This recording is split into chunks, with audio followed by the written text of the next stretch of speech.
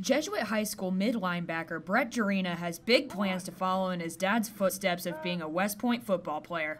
As a young kid, like always follow, like always wanted to follow my dad's footsteps, and I, I always looked up to him, his leadership, and I've always been like watching Army football games with him.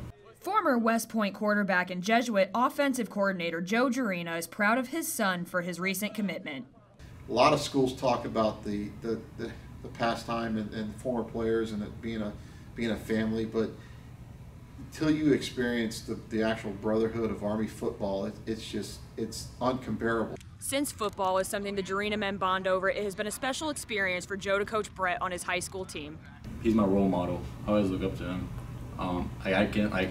I'm so I'm proud to be his son. We've got our handshake and and we tell each other we love them because you never know when it's gonna you know when the, it's gonna be the end of the season or or the you know, maybe something more drastic than that. But it's it's always, you know, I always want to make sure that I, I never miss a moment to tell them that. As Brett's days of playing at Jesuit come to an end, his dad believes he is ready for the ultimate sacrifice. He is made for West Point. He is made to, to serve in the Army, to lead our American soldiers in the Army. Uh, he, he would be the first person to sign up for a mission uh, in my mind. He'd be the first person to, to lay down his life for his soldiers. Reporting from Jesuit High School, I'm Kasey Wishart for TV News.